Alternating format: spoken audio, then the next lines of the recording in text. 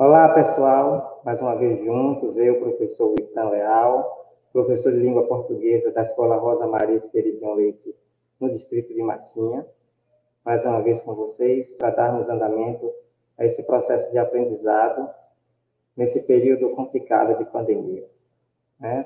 Quanto à minha aparência física, eu sou uma pessoa de baixa estatura, sou afrodescendente de, de pele parda, meus cabelos e barbas são crespos, estão grisalhos.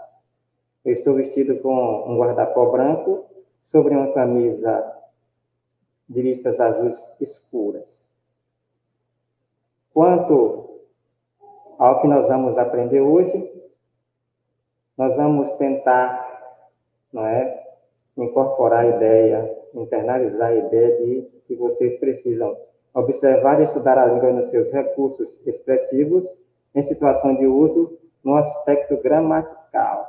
Essa habilidade que nós vamos é, aprender hoje. Qual o tema principal da nossa aula? Figuras de linguagem, que é um tema muito importante no que diz respeito à expressão, tanto na escrita quanto na fala, a estética, o formato de como você vai falar, as expressões que podem trazer beleza, que podem dar, é, enfatizar o que você quer falar na hora de sua comunicação, na hora da sua escrita, num poema, num texto é, em prosa. Então, as figuras de linguagem são importantes porque ela traz uma estética diferenciada ao que se fala e ao que se escreve. Então, antes de aprendermos direitinho cada figura de linguagem, nós temos que ter uma noção do que é denotação e conotação. Porque as figuras de linguagem, elas saem de uma linguagem do campo mais real para um campo mais figurado, uma representação mais figurada da língua. Então, ela lembremos da gíria, por exemplo. Nós, nós, quando falamos com gíria, nós percebemos que o que falamos no formato de gíria não é um sentido real, é uma forma estética que nós utilizamos para expressar os nossos pensamentos. Então, as figuras de linguagem, elas vão por esse caminho. É uma estética diferenciada para expressar, através da linguagem falada e escrita, nosso pensamento, para dar uma, uma beleza, uma diferenciação, para enfatizar determinadas expressões que nós utilizamos no dia a dia. Então, para dar uma ideia de denotação e conotação, eu trouxe essas duas imagens para vocês. Né? A primeira imagem é um quadro chamado O Balcão, de Edouard Manet, que era um pintor francês. E ao lado tem um quadro de, Mag de Magritte, que também pintor francês, não é? Ele faz aí, o Magritte faz uma, vamos dizer assim, paródia do quadro de Manet, Percebam que o quadro de Manet, ele tenta retratar a realidade de forma mais objetiva. Então, ele dá uma denotação. Ele está sendo objetivo, né, é, retratando a realidade.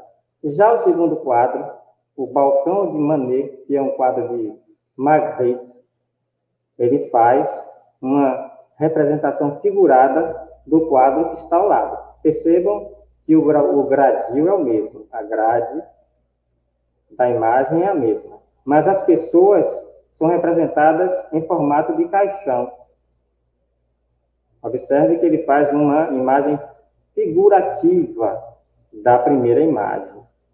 De repente, ele está querendo mostrar que, mesmo nós somos, sendo pessoas de pompas, ricas, temos bem, tendo bens, nosso destino é sempre o mesmo de qualquer outra pessoa. Então, os caixões ali representam, podem estar representando o destino, independente de bens, de classe social, de cor. Então, ele tenta, penso eu, expressar essa ideia. Então, veja que o primeiro quadro, o balcão, ele tenta representar a realidade fielmente. O segundo quadro, ele tenta representar de forma figurada o que o primeiro quadro está expressando. Então, é a linguagem, primeiro, a gente pode considerar uma linguagem denotativa ou real, verdadeira, não é? que se aproxima do real. E o segundo quadro, com os caixões, ele representa uma linguagem figurada. Não é uma linguagem real, é uma linguagem figurada. Representa de forma indireta aquilo que o primeiro quadro tenta expressar. Isso nós utilizamos também na linguagem. Então, o que é a denotação?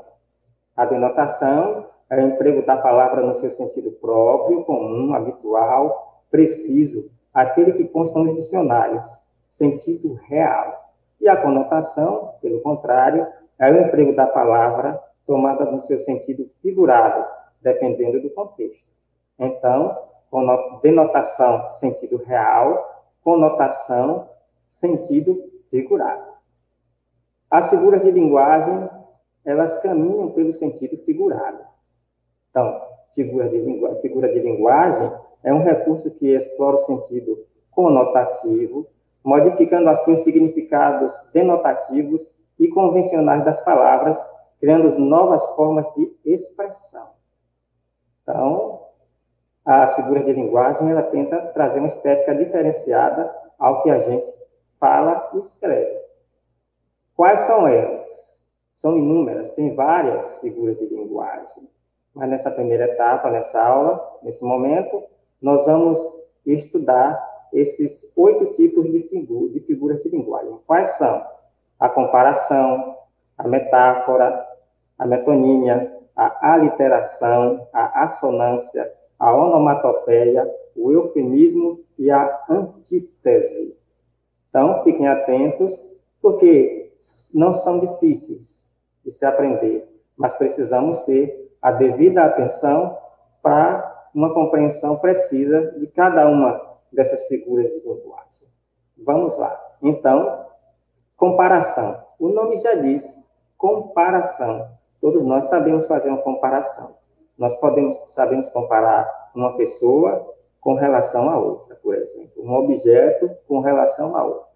No caso, a comparação é o confronto entre dois elementos que mantêm uma relação de semelhança entre si. Observe, o rapaz é forte como um leão. Você olha o rapaz, vê que ele é uma pessoa robusta, forte, musculosa, e você usa essa expressão. O rapaz é forte como um leão. Seus olhos brilham que nem diamantes. Olha essa expressão que nós sempre utilizamos. Que nem diamante.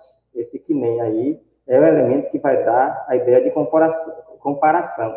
Da mesma forma que na frase anterior, o como, a palavra como, ela vai ser o elemento que dá a ideia também da comparação. Então, toda vez que nós formos fazer, utilizar essa figura de linguagem, nós vamos utilizar o elemento comparativo, o como, o que nem, dentre outras expressões de comparação. Ok? Temos em seguida a metáfora, que ela é um tipo de comparação, só que é uma comparação direta.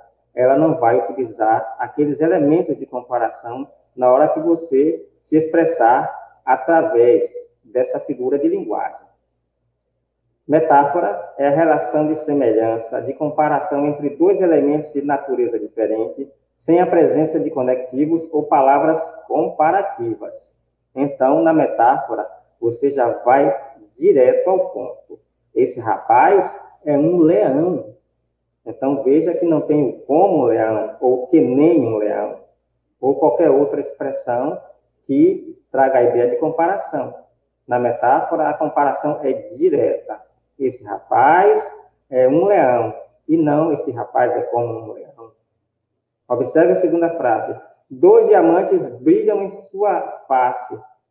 Essa comparação ainda é mais direta do que a anterior, porque já diz diretamente, nem fala o nome olhos, não é? Ele diz que dois diamantes brilham em sua face.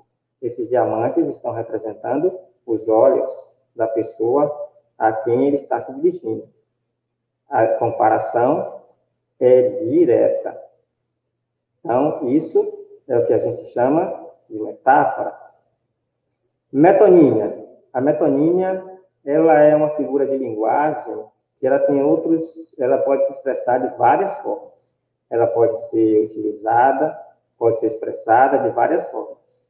O que é a metonímia? É o emprego de uma palavra no lugar de outra por causa da proximidade de sentido entre essas duas palavras, entre ambas. Então, observe, existem também uma quantidade relativa de metonímia, de forma de utilizar metonímia. Então, vamos utilizar algumas é, que, que, são utilizadas com mais frequência, para vocês observarem é, e compreenderem esse tipo de, de figura de linguagem. Por exemplo, na metonímia, nós podemos trocar o autor pela obra. Observe a frase. Ler Vinícius de Moraes é sempre emocionante. Você lê Vinícius ou você lê o que ele escreve, a sua obra? Então, eu estou trocando o autor pela obra. Porque em vez de ler a pessoa, eu leio aquilo que ela produz. O autor, no caso Vinícius, é um poeta, ele era compositor, ele era cantor. Então, quem lê Vinícius, lê a obra de Vinícius. É, você pode trocar o continente pelo conteúdo, é uma outra forma de expressar metonímia. Continente, por exemplo, bebeu um copo de água. O copo é o continente, é o que tem a água dentro, que é o conteúdo. Então, você bebe o copo ou o que está dentro do copo, a água. Estamos fazendo a troca, não é? No sentido figurado. Bebeu um copo de água. Ele não bebeu o copo, ele bebeu o que está dentro do copo, que é o conteúdo do copo, que é o continente. É o que contém algo dentro. Contém, nesse sentido aqui, é o que contém algo dentro, é o continente. Então, bebeu um copo de água. Bebeu a água e não o copo. Deu para compreender? Então, estamos aqui, né? O copo, ele dá uma visão geral é, ideia que esse tipo de metonímia quer expressar. Seguinte, a parte pelo todo. Observem o exemplo. Os sem-teto estão negociando com a prefeitura o uso de um imóvel abandonado. Essa ideia, essa palavra composta sem-teto, ela dá uma ideia de sem-teto. Esse sem-teto dá uma ideia de quê? De sem casa, sem local onde morar. Então, o que é está acontecendo? Eu estou utilizando a palavra teto, que é uma parte da casa, para representar toda a casa. Os sem teto, ou seja, os sem casa, os sem moradia, estão negociando com a prefeitura o uso de um imóvel abandonado. Então, estamos trocando a parte, que é o teto, pelo todo, que é a casa, o local de moradia. Seguindo, mais uma forma de expressar metonímia. A marca pelo produto, isso é uma coisa que nós fazemos muito eu peguei esse exemplo porque é muito comum utilizarmos é, esse exemplo aí, essa forma de, de, de expressão, de falar. Nunca lave vidros com Bombril. Bombril é a marca. Não é o produto Bombril que nós utilizamos para limpar lava-pratos, etc. É uma palha de aço e não um Bombril. Mas como utilizamos tanto é, a expressão Bombril, se tornou comum utilizar o bombril, a palavra bombril, para representar a palha de aço, é como utilizar gilete para se barbear, dentre outros produtos que nós fazemos esse tipo de mudança, de troca de ideias. Então, estamos trocando a marca pelo produto, singular pelo plural. A criança tem direito à educação. Perceba que a criança está no singular. A palavra criança está no singular, mas essa palavra criança ela está representando um universo de crianças. Não é só uma criança, são várias crianças. A criança tem direito à educação.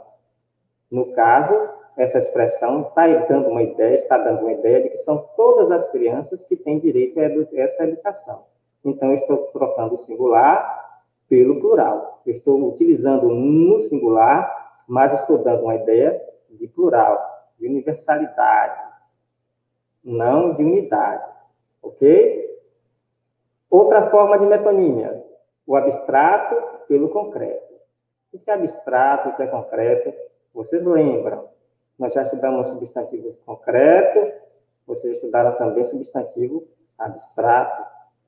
Quando a gente é pequenininho, a gente aprende que substantivo abstrato é aquele que a gente não pode ver, não pode tocar, mas de uma forma mais é, específica, é, nós podemos dizer o seguinte: esquecendo a ideia de construção aqui, de fabricação, não é? O substantivo abstrato, ele tem existência dependente de outro ser.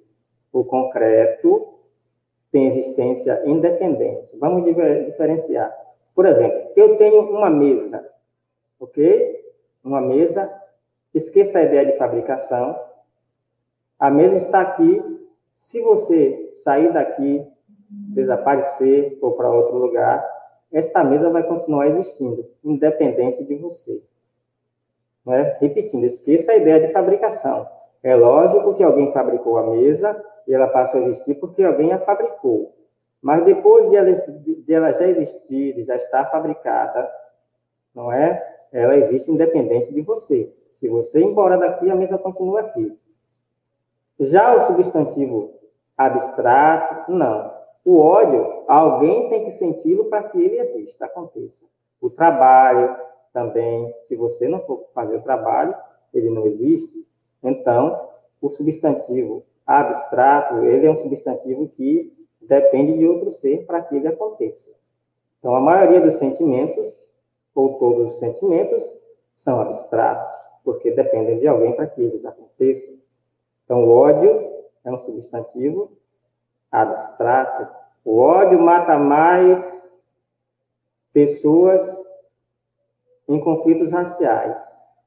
Ou melhor, o ódio mata muitas pessoas em conflitos raciais. Quem mata é o ódio ou a pessoa que está sentindo ódio? Então, o que é que está acontecendo? Eu estou trocando o abstrato pelo concreto. O concreto é a pessoa que com ódio mata. Não é o ódio que mata, mas a pessoa que está sentindo o ódio. Então, estou tocando, repetindo, o ódio pela pessoa. O ódio está representando a pessoa. Estou trocando o concreto pelo abstrato, abstrato pelo concreto, no caso. Ok? Seguindo, outra figura de linguagem, a aliteração. Essa é fácil de se compreender. Percebam, o que é aliteração é a repetição de fonemas consonantais com efeito sonoro e estilístico. Então, consonantais lembram de consoantes. Percebam o exemplo. Trazei três pratos de trigo para três tigres tristes. Vejam que o TR, o TR, ele está sempre se repetindo. Então, é repetição, né, que tem uma sonoridade e dá um efeito estilístico no que se está se expressando, se está expressando através do texto que vocês veem aí, ou de qualquer outro texto que traga esse tipo de figura de linguagem. O próximo é a assonância. Se lá na literação foi a repetição de consoantes, de fonemas consonantais, na assonância é a repetição de fonemas vocálicos especialmente em sílabas tônicas. Então, os sons vocálicos, eles são destacados, aparecem com frequência para trazer também um efeito estético para o que está sendo expressado numa, num poema, numa música e em outros gêneros textuais também.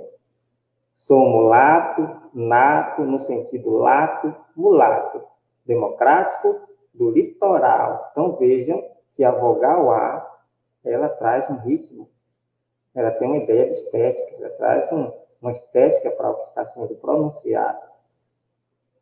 É? Então, cada vez que vocês é, se depararem com esse tipo de repetição de vogais nas sílabas tônicas para dar uma estética não é um ritmo ao que está sendo dito ou escrito, vocês vão saber já que se trata da figura de linguagem chamada assonância.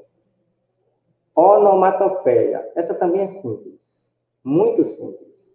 A onomatopeia nada mais é do que a tentativa de imitar o som dos objetos, por exemplo, quando batemos na porta. Toque, toque. Não é? E o, a voz dos animais. O barulho do, da voz, por exemplo, de uma vaca, mu. Então, a onomatopeia, ela é esse tipo de expressão. Olha o que diz. Emprego de palavras e expressões que imitam sons e ruídos da natureza ou sons que os animais emitem. Olha o exemplo, tic-tac, tic-tac. O relógio de parede parece que grita. Segundo exemplo, o cocoricó desse galo não me deixa dormir. Então, a onomatopeia tem um nome complicado, mas o que ela representa é muito simples, de muito fácil assimilação. Não é? Vocês entendem? Só ao olhar, vocês já vão, já vão entender que é uma onomatopeia. O eufemismo. Eufemismo é o emprego de termos mais agradáveis para suavizar o que se quer dizer. Então, você quer, por exemplo, você quer dar uma notícia trágica a alguém, você vai dar uma volta, vai tentar falar de uma forma mais tranquila, mais amena, para não assustar e não chocar a pessoa com quem você está falando. Observe o exemplo. Você sabe que ele descansou em paz? O que é que eu quero dizer com isso? A pessoa a que a voz da frase se, se, se direciona é alguém que faleceu, que morreu. Então, olha a expressão que ele utilizou: descansou em paz. Ele está amenizando a frase para não causar muito impacto, para não causar um choque em quem está ouvindo. Então, essa é a função do eufemismo. Ele ameniza né, aquilo que você quer expressar. A antítese também é uma expressão de fácil entendimento, é uma figura de linguagem de fácil entendimento. Por quê? Ela é o emprego de palavras ou ideias de sentidos opostos, contrários. Veja só o exemplo. Assistir ao filme Deus e o Diabo na Terra do Sol. Percebam que Deus e o diabo, eles têm ideias opostas. Um é o bem e outro é o mal não é? Feio, bonito, são palavras opostas. Alto, baixo. Então, a antítese, ela traz essa ideia de oposição. Ok? Então, gente, terminamos aqui a nossa quarta aula. Eu agradeço a presença de vocês, agradeço a atenção e em breve estaremos juntos novamente para dar continuidade às figuras de linguagem. Até mais.